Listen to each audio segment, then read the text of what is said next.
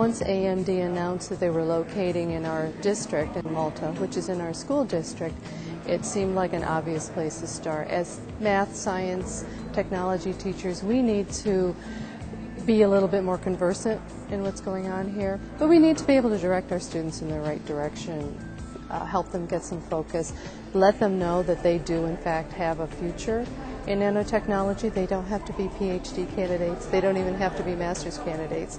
We have plenty of children who go to two year colleges, um, more technical oriented uh, careers that could be part of this could be part of their future. Wow. we knew it was going to be pretty impressive, but I think I was not remotely prepared for what we were shown there the size, the scale, the, uh, the activity, the numbers of companies that are working in that one space. It was very impressive.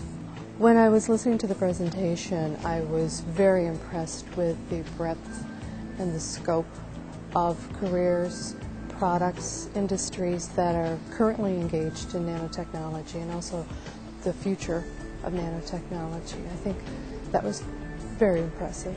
Certainly, we can start talking to our students about this. This is what's down the road from us. This is what's moving into our neighborhood.